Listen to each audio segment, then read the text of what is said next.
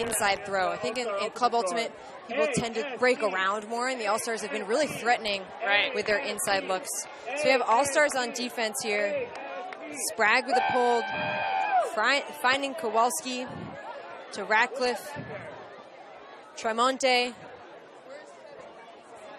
looking for Hackett, and she finds her to Yoshen.